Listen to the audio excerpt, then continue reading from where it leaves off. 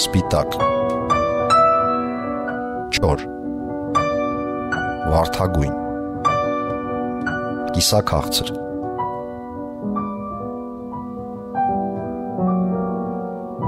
կարմիր Swan Lake Wine Bar Գինու սիմֆոնիա Տերյան Սայաթնովա խաչմերուկ Կարապիլի դրամանցի համալիր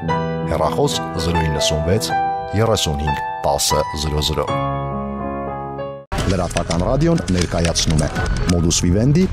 արտաքին քաղաքականություն Հարապապյանի հեղինակային հաղորդումը Ողջույն հարգելի ռադիո լսողներ եւ ռադիո դիտողներ FM 106 եւ կես հաջողությամբ իր աշխատանքն է սկսում Modus Vivendi հաղորդաշարը։ Տաղավարում աշխատում են Հայկու Հիմնասյանը եւ հաղորդաշարի հեղինակ Modus Vivendi կենտրոնի տնօրեն Արտակարգ եւ Լիազոր դեսպան Արա Պապյանը։ Ողջույն պարոն Պապյան։ Բարև ձեզ։ Հարգելի ունկնդիրներ, մեր այս տարվա առաջին թողարկումն է, պարոն Պապյանը, եթե հիշում եք, Հայաստանում չէր եւ հիմնականում նախորդ զայնագրել էինք հաղորդումները, չենք հասցրել ամփոփել նախորդ տարին։ Պարոն Պապյան, ինչ տեղի ունեցավ ձեր տեսակետ կետները մեր եթերում չհնչեցին։ Արդյոք ռուսական ինքնաթիռի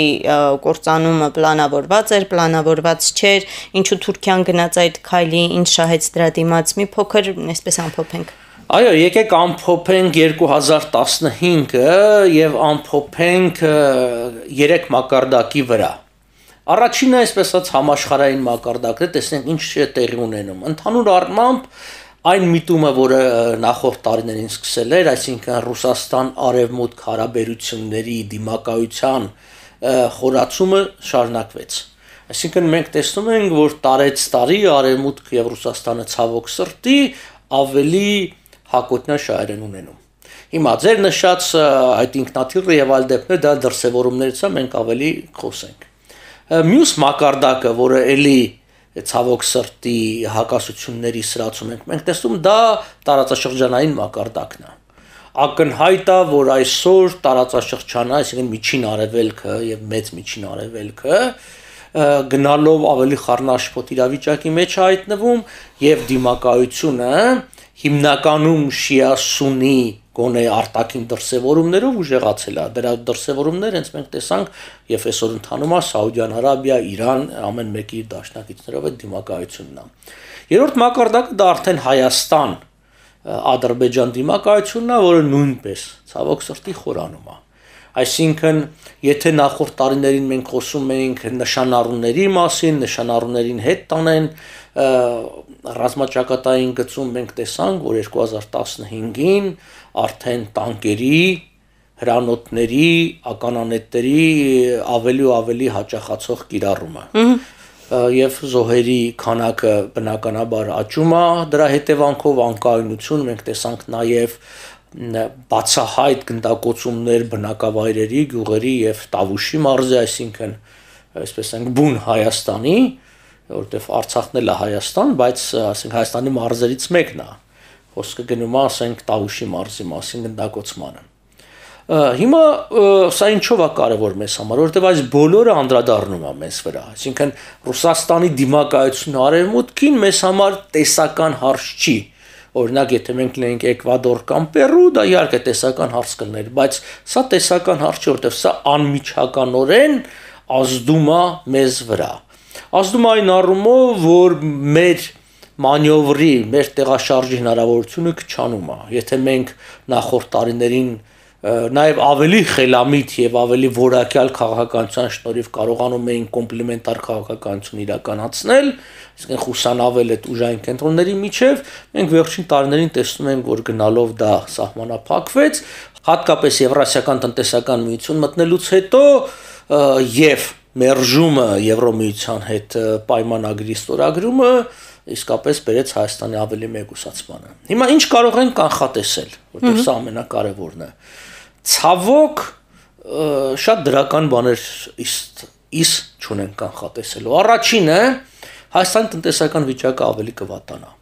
որտեվ Եվրասիական տնտեսական միությունը, որին մենք այսպես գլխապատար մեզ նետեցինք, որին շատերը կանխատեսում էին, որ կբերի Հայաստանի տնտեսական վիճակի վատացմանը, վատթարացմանը, դա իրականացավ եւ դա կշարունակվի գնողունակությունը անկում ապրել, ես բառացիորեն հենց այսօր խոսում եմ մեկի հետ, որ Ռուսաստանից է եկել, ասենք միջին եւ փոքր բիզնեսի դաշտը լավ տիրապետում է, փակվում են ահագին բիզնեսներ, բնականաբար առաջին հերթին ճնշում են օտարազգիներին, հայերին եւ այլն, եւ ընդհանրապես Ռուսաստանի տնտեսական վիճակի դառնով վատա եւ կվատանա, որտեղ նավթի գների անկումը շարունակվում է եւ դա կշարունակվի։ Մյուս կողմից մենք մեր բոլոր հնարավորությունները կտրել ենք օրինակ այն հնարավորությունը Իրան, Հայաստան, Վրաստան գազամուղի կառուցման, որի մասին վերջերս եւս խոսակցություններ եղավ, դժվար իրականանա, որովհետև այդ ամբողջը վերահսկում է Ռուսաստանի կողմից, Ռուսաստանն էլ դանով շահագրգռված չի։ Այսինքն Ռուսաստան չի զիջելու իր շուկան ուրիշներին, ինչքան էլ այսպես վերացական խոսակցություն լինի Իրանի հետ հարաբերության լավացման։ Սա շատ կարևոր է տնտեսական վիճակը, որովհետև թեև անվտանգությունը ամեն մեկի համար եւ ամեն պետության համար առաջնայինն է, բայց անվտանգությունը խարսխում է տնտեսության վրա։ Այսինքն եթե մենք ուզում ենք ունենանք լավ պաշտպանություն, ունենանք զր տնտեսություն եւ մեզ համար տարեց տարի դժվար է դառնում ռազմական այն մեծ սախսերը, որը մենք բեռնել ենք մեր պետության ուսերին, կարողանանք իրականացնել այդ ծախսերը։ Եվ դա ակնհայտ է այսօրվա օրով մի քանի դրական միտումներ կան նկատվեցին անցած 2015-ին, որը մեր շնորհիվ չի։ Ես հաճախ ասել եմ, ես հավատացյալ մարդ չեմ, բայց կարծում եմ, որ դա աստծո մատներ խառը, որովհետև այն ինչ որ տեղի ունեցավ, դրանք բացառիկ էին։ Օրինակ այ հենց այդ ձեր նշած ռուսական ռմբակոծիչի խփելը թուրքերի կողմից, որը արմատապես փոխեց ռուս-թուրքական հարաբերությունները։ Այսինքն դա մի բացառիկ եւ չլսված, չկանխատեսված բան էր, որը բերեց իսկապես հնարավորության։ Հիշենք Պուտինի ուղերձը, ինչպես նաև իր հարցազրույցներից մեկի մեջ, որ ինքը նշեց, որ մենք պատրաստ ենք ավելին անելու Թուրքիայի համար եւ անում ենք, քան մինչեւից դաշնակիցները շատ նուրբ հարցերում։ Բնականաբար հասկանալի է, որ այդ նուրբ հարցերը դրանք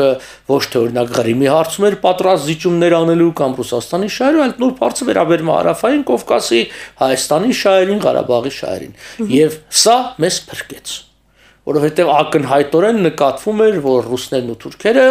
ինչ որ համաձայնության են գալիս ինչ որ հարցերի շուրջ, իսկ ռուս-թուրքական համաձայնությունը միսի հաշիվ մեսա։ Սա մեր կամքից եւ մեր ջանքերից անկախ էր։ Եվ սա լավ է։ Այսինքն իր մեջ ունի այսպես ասենք հնարավորություններ, բայց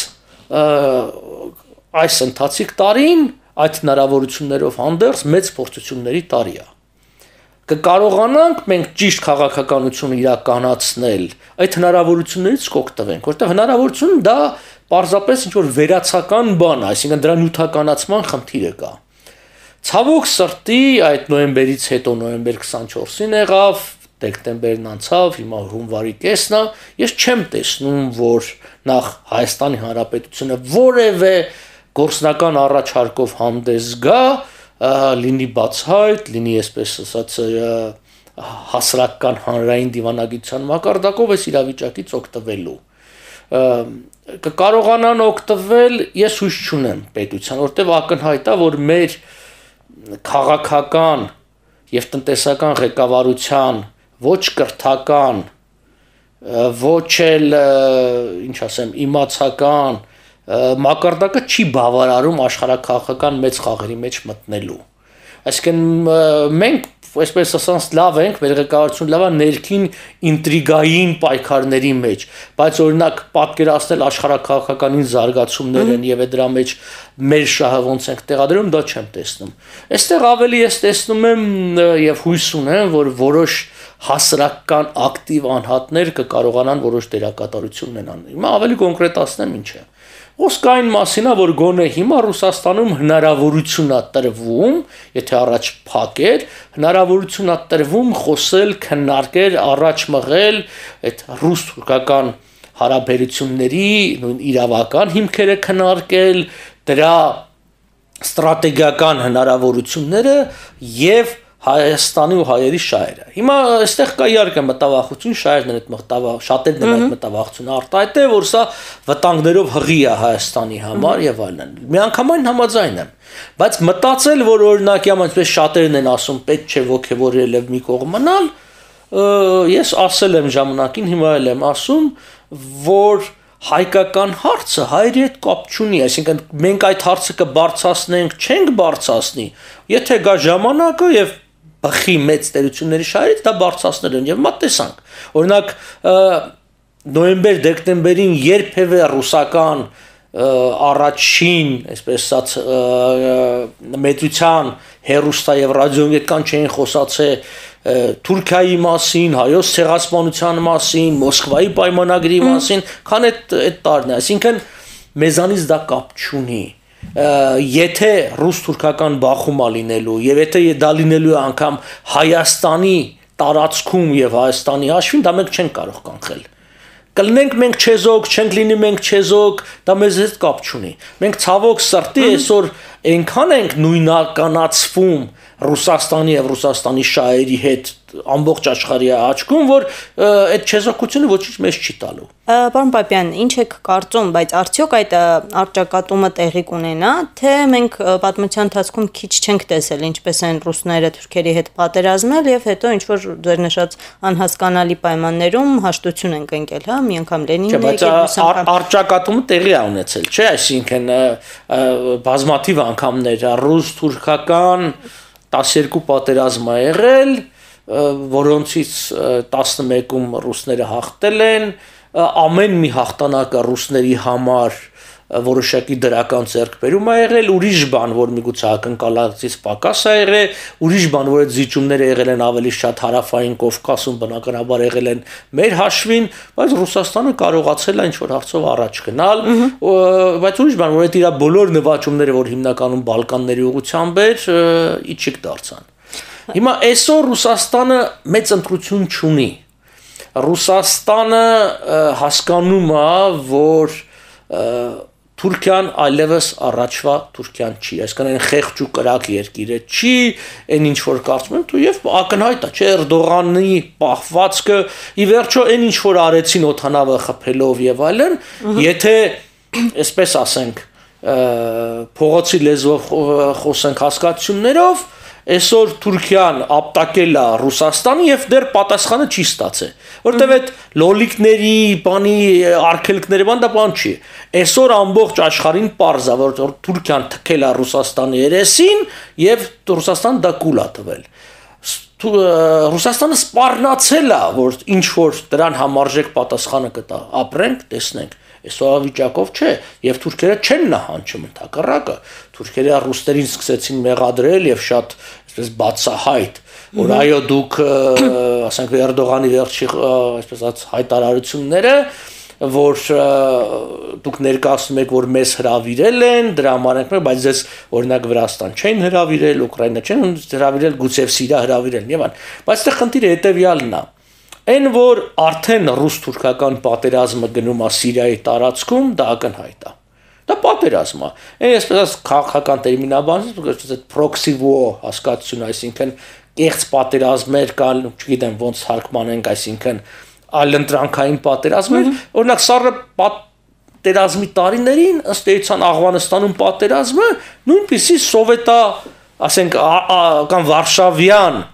ճամբարի եւ ՆԱՏՕ-ի պատերազմներ։ Պարզապես դա չէր դրսևորում ուղակի զորքերի կիրառմամբ, այլ ամեն մեկի շահերը իրականացնող սպասարկող խմբավորումներն էր տարբեր տեղեր։ Դա շենք եղավ Անգոլայում, եղավ Եթովպիայի տարածքում բան։ Հիմա այստեղ ամենակարևոր հարցն է, այն որ այդ բախումներն ու դիմակայությունն է, արդյոք կլինի ուղակի ռուս-թուրքական բախում։ Խոսքը սրա մասն է, որ մենք ասում ենք պատերազմ, դեռևս դա ենք հասկանում ամերիկյան այսպես լուրջ կազմակերպություն ինչ որ շատերը այդ թվում հետախուզության գտնում են որ 2016 թվականին այո կլինի ռուս-թուրքական բախում ռազմական բախում ես էլ եմ կարծում որ այդպես կլինի որովհետև դրա այդ հարցում շահագրգռված կողմեր կան շահագրգռված արևմուտքը շահագրգռված է Թուրքիան Շահագրգռված է Ռուսաստանը տնտեսական վիճակի վատթարացումը Ռուսաստանի եւ Պուտինի դիրքերի թուլացումը բերելու է նրան, որ Պուտինը պիտի փորձի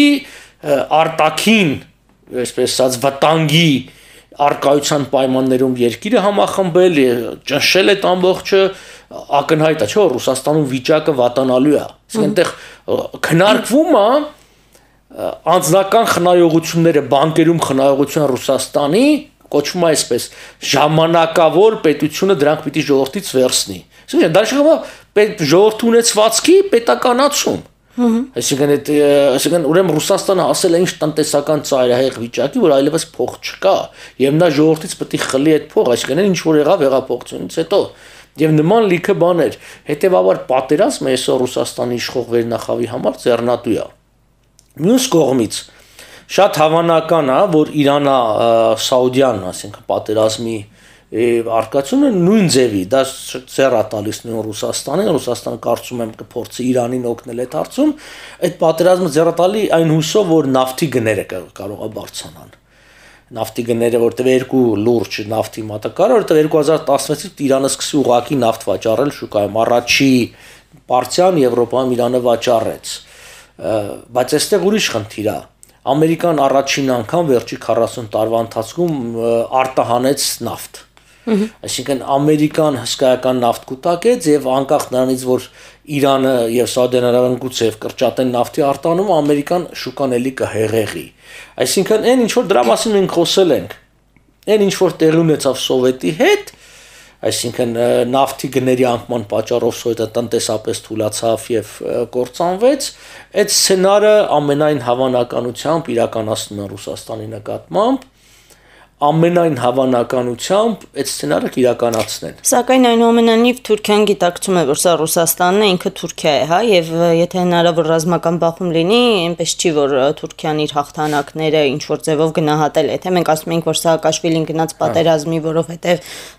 կորցրեց հող, բայց ձեռք բերեց տնտեսություն կամ փոխեց երկիրը, ապա ինչ է շահելու Թուրքիան արդյոք հույսը ՆԱՏՕ-ի վրա է։ Գիտեք, հույսը միայն ՆԱՏՕ-ի վրա մեր պատկերացումները շատ սխալ է Ռուսաստանի եւ Թուրքիայի ռազմական հզորության մասին։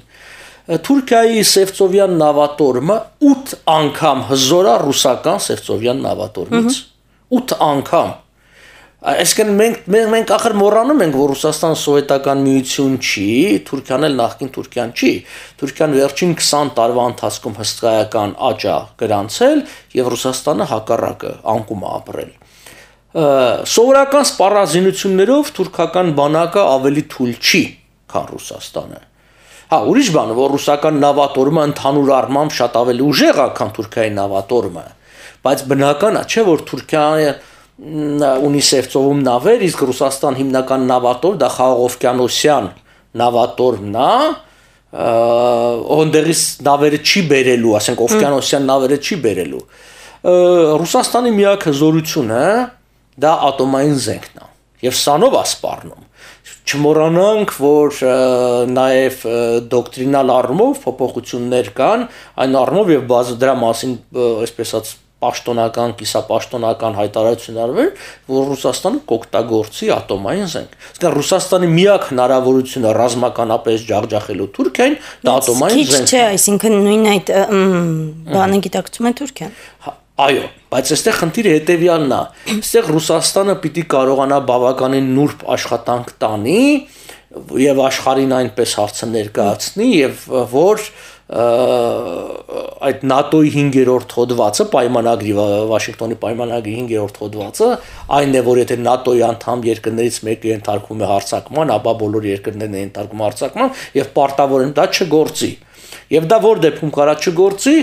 որ Թուրքիան ինքը ներկայացվի որպես ագրեսոր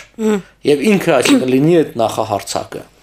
Եվ այստեղ է ես որ ասում եմ մեր շահերը Ելի վերադառնանք այն թեմային, ինչ բազմիցս ես խոսել եւ ասում եմ, կգա ժամանակ, որ շատ երկրներ ելնելով իրեն շահերից դա կարող է մեջտեղ բերել։ Թուրքիան երբ կարող է ագրեսոր լինել։ Եթե Ուլսենյան իրավարար վճիռը ուժի մեջ է։ Այդ պարագայում Թուրքիան ագրեսոր է, որը օկուպացրել է Հայաստանի Հանրապետության տարածքը։ Այսինքն այդ պարագային կա իրավական հիմք խոսելու այն մասին, որ Թուրքիան որպես ագրեսոր երկիր պարտավոր է ընդհանրենք զորքերը հետ տանի եւ այլն։ Բայց նույն ՆԱՏՕ-ի համաժողովում այդպես քննադատություն չհնչեց Թուրքիայի հասցեին եւ այսպես բնական հա ներկայացվեց մարդու տարածքը խախտել էին ինքնը ստիպված այսպես ավելի շատ բայց նաեւ նաեւ չեղան Թուրքիային միանշանակորեն պաշտպանող հայտարարություններ ավելի շատ այսպես Թուրքիան իմ կարծիքով բավականին մեկուսացված է այսօր ձայներ են հնչում ամերիկյան տարբեր մակարդակների վրա եւ մամուլում հրաապարակումներ բաները բավականին լուրջ մարդիկ եւ վերլուծաբաններ եւ նախկին դիվանագետներ դեսպաններ որ Թուրքիան առաջվա Թուրքիան չի Թուրքիան պետքա հերացվի ՆԱՏՕ-ից Թուրքիան եւ հատկապես Էրդողանի անձը քննադատվում է այսինքն չկա այդ միանշանակ պաշտպանության բանը եւ ակնհայտ է որ Եթե արևմուտք ունենա պատրվակ եւ հնարավորություն Թուրքիան չպաշտպանելու, չի պաշտպանալի։ Եվ անգամ Թուրքիայի ներսում ձայներ են հնչում, որ մեզ արևմուտքը լքում է։ Իմջալոց այդ միտումը վաղուց էր նկատելի։ Եվ դրա մասին մենք էլի ենք խոսել, եւ սա 98-ին, երբ որ ես առաջին անգամ եղա Թուրքիայի գլխավոր շտաբում եւ ելույթ էր ունենում շտաբի պետը Կվրիկ Օղլուն, Նա այն ժամանակ էր արդեն մեղադրում արևմուտքին, որ դուք մեզ լքում եք։ Մենակ այսօր Թուրքիայում ձայներ են հնչում, որ Ամերիկայի բուն նպատակը Թուրքիան տրոհելն է։ Եվ այս ամբողջ խաղը արվում այն պատճառով, որ Թուրքիան տրոհվի։ Անկամ ձայներ կան, որ ինքնաթիռի խփելը եղել է հրահարված եւ ուղղորդված Միացյալ Նահանգների կողմից հենց այն պատճառով որովհետեւ Միացյալ Նահանգները հետո հետ քաշվեն եւ Թուրքիային կանգնացնեն փաստի առաջ։ Իսկ ինչ շահեր ունի արևմուտքը Թուրքիան տրոհելու, եթե Թուրքիան տրոհմի, ով է լինելու այստեղ։ Այ դրա մասին մենք բազմից ենք խոսել։ Ես ինքս ասել եմ, որ արևմուտքը Միացյալ իրականացնում է այսպես կոչված կրկնակի զսպման քաղաքականություն Թուրքիայի նկատմամբ Թուրքիա հզոր Թուրքիան բոլորովին պետք չէ արևմուտքին։ Եվ հիշում եք մենք խոսել ենք անգամ հետեւյալ անգամ ձևակերպումով, որ Թուրքիան ապագա ունի միայն եթե նալի տարածքով փոքր եւ բնակչության փոքր։ Այսինքն եթե քրդական մասը անջատվում է եւ Թուրքիան դառնում է օրինակ Լեհաստանի չափ մի 40 միլիոնանոց երկիր, Լեհաստանի չափ տարածքով եւ այն այդ դեպքում որ հնարավոր այսինքն կլինի նույն Եվրոմիության անդամակցություն եւ այլն, որովհետեւ այդ դեպքում նրա падգամավորների թիվը ավել չի լինում։ Մենք դրա մասին խոսել ենք, որ այսօր ամնան, ասենք նույն Եվրոմիության խորհրդարանում ամենաշատ падգամավորների թիվ ունեն Գերմանիան, Ֆրանսիան եւ իրենք չեն հանդուրժի, որ 120 միլիոնանոց Թուրքիան, իսկ 20-30 տարի հետո 120 միլիոնա դառնալու Թուրքիան, այսինքն թուրքերը որոշեն եվրոպացիների ճակատագիրը։ Մյուս կողմից Թուրքիայի իսլամացումը դա էլ ակնհայտ փաստ է։ Բոլորը հասկանում են, որ քեմալիզմը տապալված է։ Այսինքն այդ իսլամացումը ուրիշ բան է, որ ռուսները Եվ Ալչատ Պուտինը բավականին սխալ քաղաքականություն տարավ, բայց նա ուրիշ ելք չուներ։ Այսինքն ամբողջ ռուսական ազգային, երբ որ մենք ասում ենք ազգային գաղափարախոսություն, չէ, ռուսական ազգային գաղափարախոսությունը հիմնված է հակա արևմտականության վրա եւ ռուսական բացառիկության, այսինքն ինչ որ բաների վրա, դրա վրա հետեւաբար այդ հակա արևմտականությունը ի վերջո դրան բերելու էր։ Բայց եթե օրինակ ռուսները փորձեին ավելի շատ լեզու գտնել արևմուտքի հետ, իրանց համար դա ավելի լավ կլներ։ Մենք օրինակ եթե հիշում ենք առիթ եղավ խոսեցինք Զանգեզուրի վրայով երկաթգծի կառուցման մասին ես դեռ այն ժամանակ ասացի, որ ես թերահավատ եմ, հիմա էլ թերահավատ եմ, հարյուրատ փաստ կբերեմ, որ դա հնարավոր չի կառուցել։ Այո, նշեցիք, որ ոչ մեկի շահերից բացի Այո, ոչ մեկի շահերից չի բխում, դա տնտեսապես էլ ձեռնատու չի, եւ այն ժամանակ խոսեցի Նախիջևանի վրա երկաթգծի վրահսկողության հաստատումը, որը կա։ Այսօր դա լավագույն առիթն է։ Այսօր ստեղծվել է մի իրավիճակ, որ Իրան, Ռուսաստան, ասենք կապը եւ Ռուսաստան ու Իրանի հակադրությունը Սաուդյան Արաբիային եւ Թուրքիային դրա հնարավորությունն է ստեղծում։ Եթե ես օրինակի համար կկասկածեի կես տարի առաջ արդյոք ռուսները մեզ կպաշտպանեն թուրքական հարձակումից թե չէ եւ դրա մասին խոսել է ես մի շատ այլընտրանքային բաներ ա պետք Այսօր գոներին վիճակն է, որ այսօր գոնե կպաշտպանեն։ Այսօր դա Ռուսաստանի շահերից է բխում եւ հենց ռուսական նոր ինքնաթիռների ուղաթիռների տեղակայումը, նոր զենքերի տեղակայումը Հայաստանի տարածքում դա դա է ցույց տալիս։ կրկնում եմ, շատերն ասում են դրանով Հայաստանը թիրախադառնում Թուրքիայի համաձայն եմ, բայց դա արդեն մեզանից կախված չի, մենք այլ ընտրանք չունենք։ Երբ որ մենք այն ժամանակ համաձայնություն ենք տալիս 50 տարով ռուսական ռազմաբազա եւ պայմանագիր ենք ստորագրում, որ տալիս ենք էքստերիտորիալ իրավունքներ եւ այլ, պետք է հասկանանք, որ գալու է մի ժամանակ, էսև հիմա, այսինքն մենք ընդունել ենք այդ խաղի կանոնները եւ չենք կարող փոխենք։ Հիմա խնդիրն այն է, որ այդ վատ խաղի կանոնների պարագայում փորձենք մեր խաղը խաղալ։ Այսինքն, եթե պիտի Հայաստանը վտանգվի, գոնե Հայաստանի շահերից ելնելով է վտանգվի։ Գոնե մենք պիտի փորձենք այս խառնաշփոթի մեջ մի բան շահենք։ Եվ հենց սա է հարցը։ 2016-ը դա մեծ փորձությունների եւ մեծ հնարավորությունների տարի է միջինը չկա։ Մի բան, որ ես էլի բազմաթիվ անգամներ ասել եմ, նորից եմ կրկնում, որ Հայաստանը չի կարող լինել եւ գոյատևել փոքր եւ թույլ երկիր։ Հայաստանը կամ չի լինի որպես պետություն, կամ պիտի լինի մեծ ու հզոր։ Հիմա մի իրավիճակ է ստեղծվել, որտեղ քրդական հարցը մենք տեսնենք դարձել է առաջնային հարց երբևէ արևմտյան մամուլը, ռուսական մամուլը այդքան չէր գրում եւ չէր խոսում քրդական պետության հնարավորության մասին ինչքան հիմա եւ ելի մենք շեշտել ենք եւ ես նշել եմ որ եւ վկայակոչելով ամերիկյան հետախուզական փակ տվյալները որ 2020 թվականին պիտի ստեղծվի քրդական պետություն եւ այն ժամանակ ես երկու ամիս առաջ միտեղ ելույթ ունեցա Երևանում եւ քրդական պետության մասին էի խոսում մի թուրքագետ նշեց որ Է պարոն Պապյան, գիտեք, քանի տոկոս քրդերն են Թուրքիայում քվեարկել Թուրքիայի այդ ԱԿՊ-ի կուսակցության, այսինքն Էրդողան կուսակցության օկտին։ Իմ պատասխանը հետեւյալն է, որ քրդական պետության ստեղծումը Թուրքիայի ներքին հարցը չէ, դա մեծ աշխարհակաղակական փոփոխությունների հարց անկախ նրանից քրդերը կողմ կլինեն թե ոչ։ Եվ մենք տեսնում ենք Բարզանին ինքը հայտարարեց Իրաքյան Քրդստանում քրդական պետության արդեն դե յուրե ձևակերպան մասը, որտեղ դե ֆակտո գոյություն ունի, մենք տեսնում ենք արդեն Սիրիայի տարածքում քրդական պետության որոշակի սաղմեր, մենք տեսնում ենք Ռուսաստանի կողմից Թուրքիայի ներսում քրդական քարտի քարտի օգտագործման նոր հնարավորություններ եւ այդ հանդիպումները Լավրովի եւ Դեմիրտաշի հանդիպումները, այս ամբողջը մենք տեսնում ենք։ Այս այստեղ հենց մեր կարևոր պահն է, որ մենք անպայման մեր շահերը պիտի այս Ռուսաստան քրդեր հարաբերությունների մեջ ներկայացնենք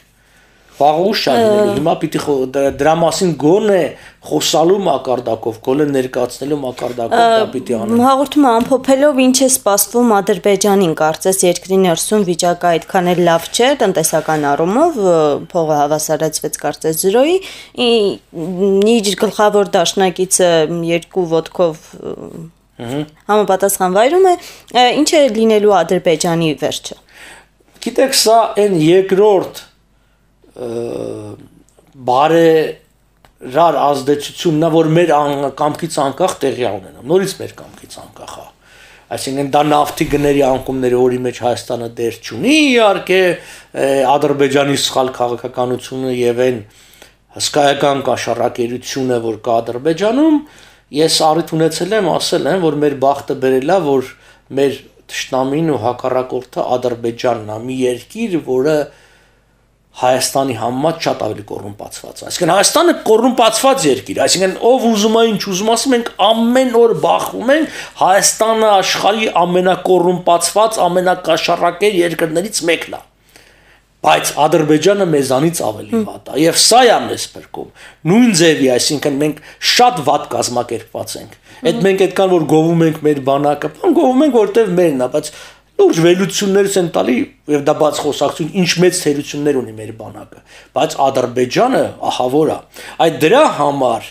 այս համատության մեջ մեզ հնարավորություն է բացվում բայց նորից եմ կրկնում նաեւ մեծ փորձություններ որովհետեւ այսպես ասած մեռնող կենթանու վիրավոր կենթանու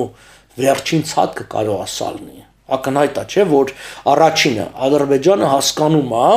որ ինքը այլևս չի կարող այդ հսկայական ռազմական ծախսերը ապահովել, անգամ ամերիկյան որոշ հրաապարակումներ եղան, որ եւ հենց հետաքրքիր է, որ ամերիկյան այսպես ասած շատ որակյալ բարբերականներում դա տպվեց, բայց հենց նույն ադրբեջանցի վտարանդիների կողմից նավթի սպառման մասին եւ այլն։ Այսինքն այն ինչ որ էլ ենք խոսել որ նավթի հայթայթման պիկը արդեն անցել է եւ նշել են որ 2014-ից սկսած նավթի արտահանումը կրճատվում է, բանը, այսինքն հնարավոր է Ադրբեջանը գնա պատերազմի, հնարավոր է, բայց կլինի մեծամասշտաբ պատերազմություն, կարծում եմ ոչ։ Ադրբեջանը այդպես էլ չկարողացավ իր նյութական փողային առավելությունը դրանց կոնվերտացիա ենթարկել ռեալ ռազմական ուժի մի շարք պատճառներով բազմաթիվ օբյեկտիվ եւ սուբյեկտիվ սուբյեկտիվ իհարկե կաշառակերություն, թալան նաեւ ժողովրդի հոգեբանություն այդ ժողովուրդը երբևէ կռվող ժողովուրդ չի եղել, նաև բանը օբյեկտիվ նաև այն որ տեղի ունեցավ ինքնության շատ ազգային փոքրամասնությունների ինքնության վերազարթում տարածքի ներսում, նավթի գների անկում եւ այլն եւ այլն։ Հետևաբար Ադրբեջանին հետ լավ ապագա չի սպասվում։